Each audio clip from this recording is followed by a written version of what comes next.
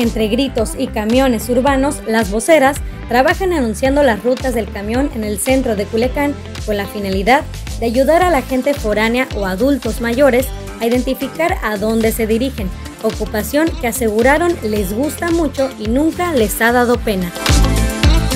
Cintia, vocera de las rutas Toledo y Vegas, cuenta con 11 años dedicándose a este oficio en la calle Benito Juárez, esquina con General Domingo Rubí, en la colonia Centro, la cual dijo es la única ubicación donde existe este servicio.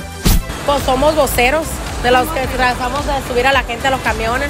Hay mucha gente que no es de aquí, pues. Aseguró que su sueldo es proporcionado por los mismos choferes de las rutas a quienes apoyan y explicó que en medio turno pueden llegar a ganar hasta 600 pesos dependiendo el número de unidades que estén activas. Pues que aquí se, se paga bien, aquí agarramos bien nosotros. A veces por medio turno ganamos 500, 600 pesos, a veces todo el día agarramos mil pesos. Depende de los camiones que anden, pues. Ahorita hay clases, ahorita está bien muerto, pues. Las voceras señalaron para los micrófonos de Luz Noticias que incluso cuentan con un horario formal dividido entre sus cuatro compañeros en matutino y vespertino.